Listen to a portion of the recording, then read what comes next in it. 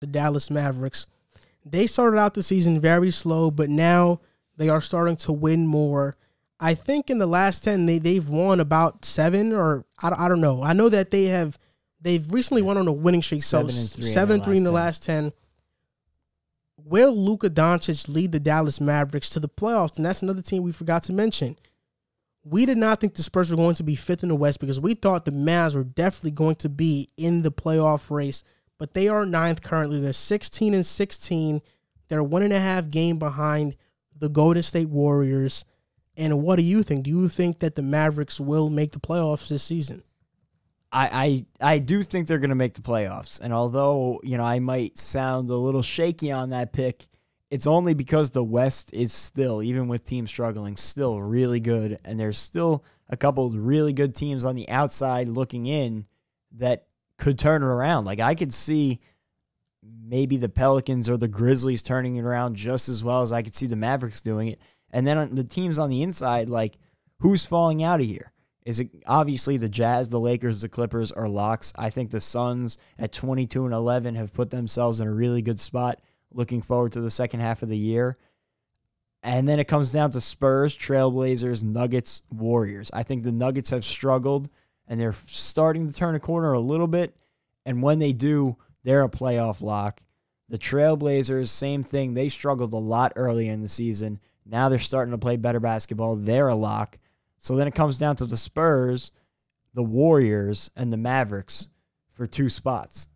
I think the Mavericks get in, but I am a little shaky on that prediction just because I'm basing it off of what I think they can be and not what they have been. I got to see them do it.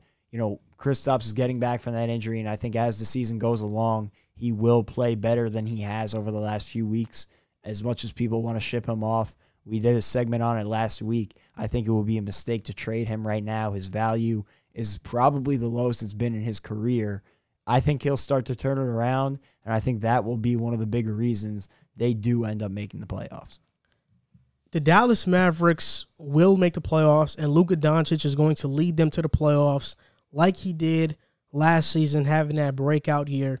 He's averaging 28, 8, and 9 this season, shooting 47% from the field goal from the field and 35% from three, which is a career high. He started in 29%. Yeah. And he has gotten better, and now he's shooting 35% from three. He's hitting those tough shots. And we ha- we forget quickly that the Mavericks last year had the best offensive rating in NBA history.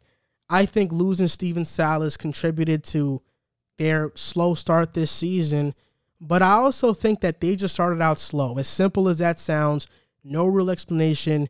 They just started out slow. It's not something that any, that any fan should be worried about because they were last in the league in three point percentage earlier in the year.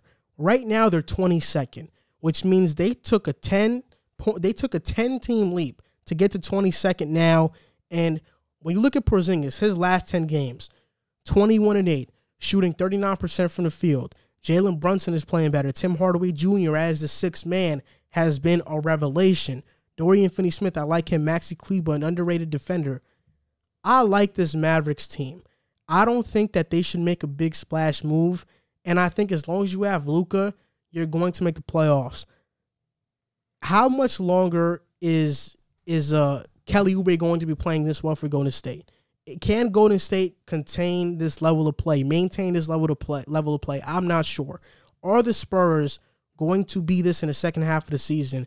They can very well drop out, and the Mavericks take a playoff spot. See, I'm very confident that, the Mavericks will take a playoff spot because they have Luka. Luka's going to find ways to win because he's a winner. That's what he is. And in the next 10, 10 games, they face the Magic today.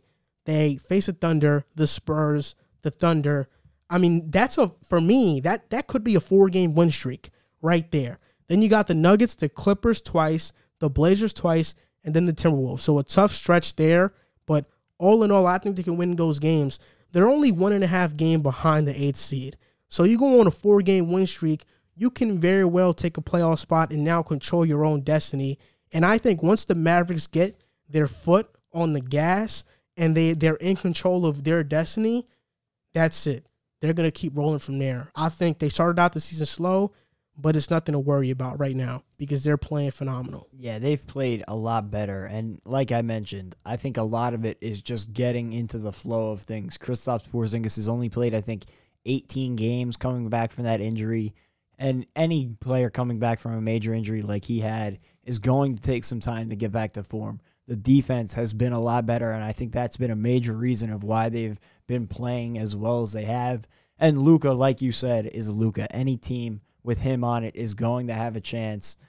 And if I had to bet right now, do they make the playoffs or miss the playoffs? I would say they make the playoffs.